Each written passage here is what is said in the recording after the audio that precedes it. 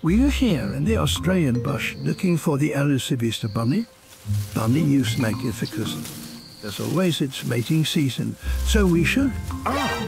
Here's a telltale sign, an egg, and it's still warm. The Easter bunny can't be far away now. There!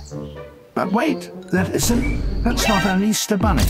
Oh no, it's it's an Easter bummy. Evolutionarily, the Easter bunny parted ways with the Easter bunny in the early Pleistocene. Now considered a pest, the Easter bummy is characterised by a complete lack of hygiene. And since it's avoided by other animals, including Easter bummies of the opposite sex, it's generally thought to be headed for extinction.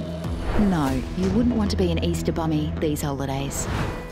Get your bush bathroom sorted for camping this Easter. With never ending hot water on tap. It's a matter of, well, natural selection. Now that's more like it.